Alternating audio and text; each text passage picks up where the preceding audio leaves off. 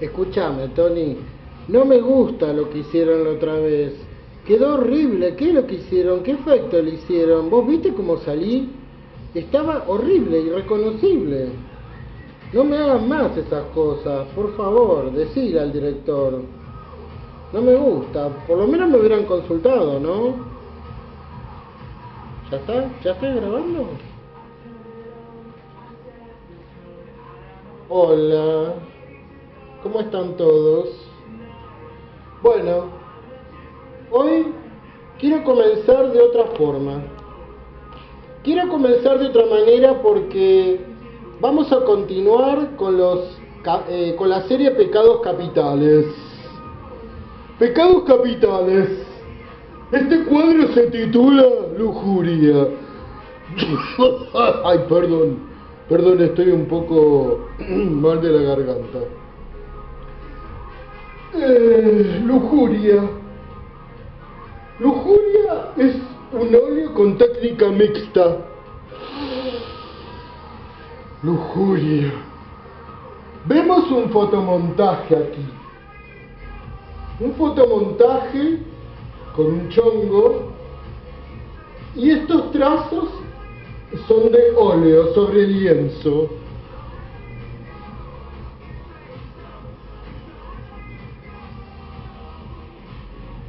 Hay como una sustracción preventiva, una, eh, yo diría como una irritación espontánea. Vemos lo siguiente.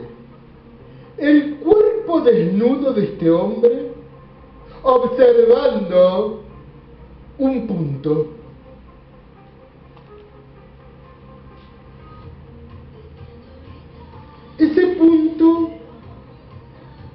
Infinito. ¿Por qué, señores, es infinito? Porque sale fuera de la obra. No observa en este caso al lector. Está de espalda. Eso tiene un significado lujurioso. Pecado capital, lujuria, sexo, desenfreno, total, total, totaliza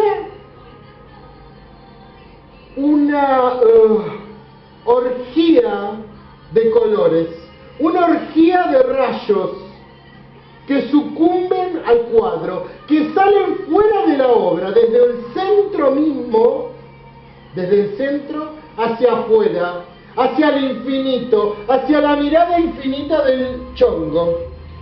Porque es un chongo, señores. Ya se habrán dado cuenta. Brillantina. Brillantina para mí. Para usted, lector. Para usted, observador.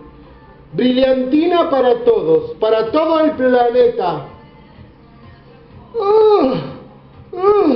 ¡Ay! ¡Ay! ¡Ay! ¡Ay! Voy a parir, voy a parir, parir. Estoy pariendo arte. ¡Arte!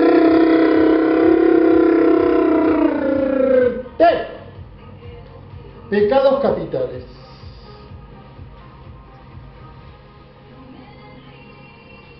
Lujuria es el título de la obra del artista plástico más moderno Horacio G.